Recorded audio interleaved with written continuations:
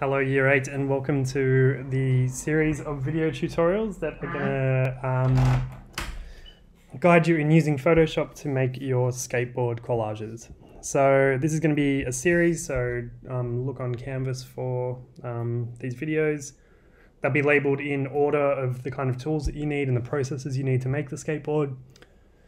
Um, but feel free to stop at any time, go back. Uh, you can do this at your own pace, which is a good um, a good uh, way of doing it.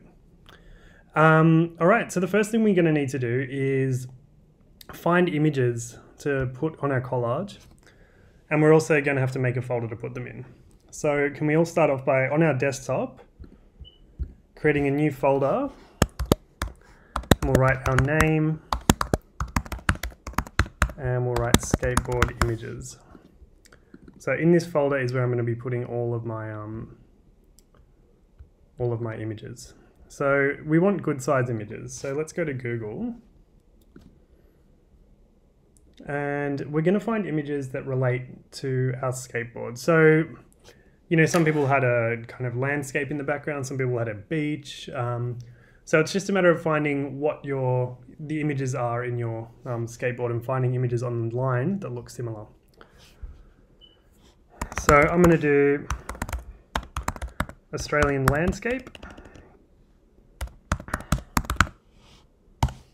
And what we want to do, we want to have good quality images. So when we go to the images section, all of these are different sizes and we don't know how big they are precisely. So what we're going to do to get a good size image is go to settings, advanced search, and on the image size section, we're going to choose bigger than 1024 by 1000 uh, by 768. So we're going to click on that and then hit advanced search. And what that does is now all of these um, images are actually the right size, or they're big enough to use um, well. So I like a couple of these. And we're going to be doing a series of skateboards. So keep in mind, you're collecting a lot of images here. Probably I'd recommend 40 to 50. So I like the look of that. It's a bit dreamy. So I'm going to save that image um, on to my desktop.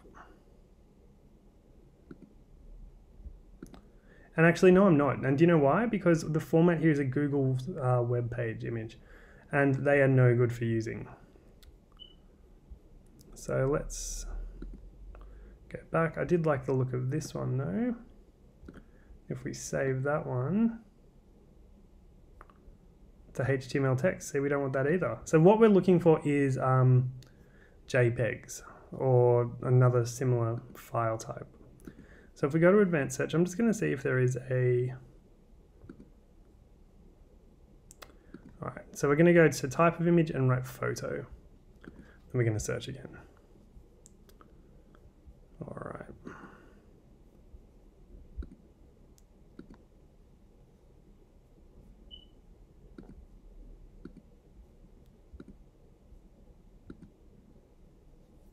So here we go, found a JPEG.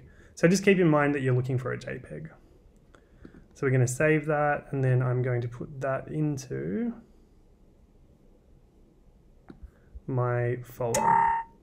So, you know, another thing I might do is I might have a some animals, some characters. So go crazy with this. And the, the weirder and wackier it is, the better, I think. Um, So as I said, about 40 to 50 images that we're going to um, uh, collect and then use in a, in a number of works.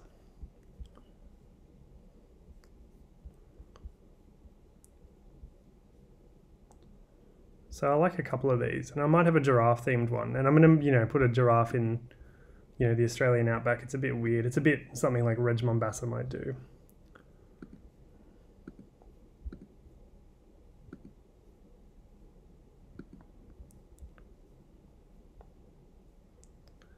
So I might collect a series of giraffe images.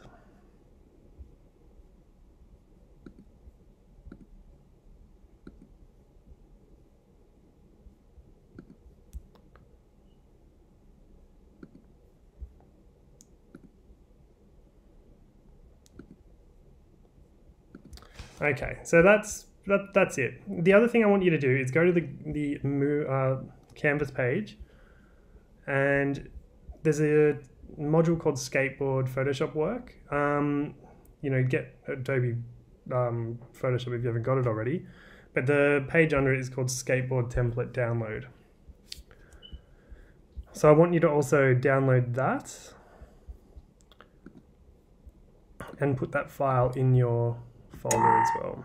So we're putting all the files we're going to use for our skateboard in here. Alright, so guys, that's it for this tutorial, showing you how to save proper size images and set up a folder and download the skateboard template. The next one's going to be focusing on Photoshop. So keep an eye out for that one.